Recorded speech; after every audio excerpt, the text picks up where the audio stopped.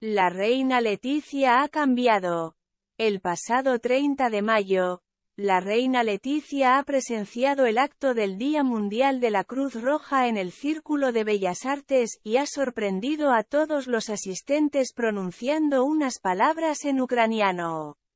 Ante esto, pondremos bajo la lupa el crecimiento del protagonismo de la reina Leticia desde ya hace rato en Zarzuela.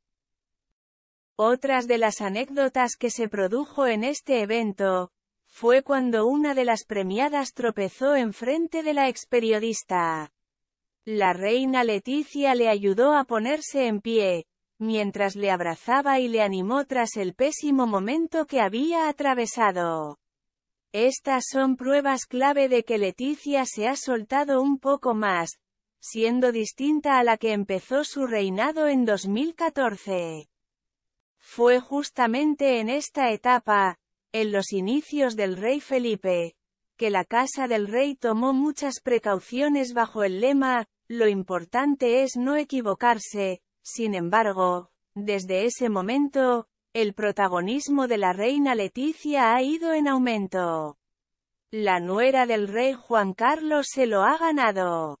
Leticia se ha soltado un poco más, siendo distinta a la que empezó su reinado en 2014. Otra de estas actitudes se ha visto en el día de la confirmación de la infanta Sofía, cuando los miembros de la familia real, con la reina Leticia a la cabeza, se realizaron selfies con los aficionados, quienes colgaron diferentes fotos en las redes sociales.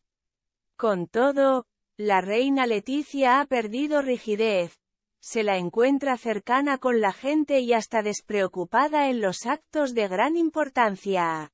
La reina Leticia no solo se dedica a cuidar a los suyos dentro de la realeza, sino que también le presta atención a la fuera.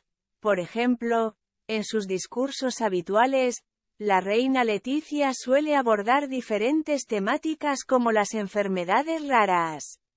De hecho, el pasado 16 de marzo, estuvo presente en Santiago de Compostela presenciando el Día Mundial de estas patologías.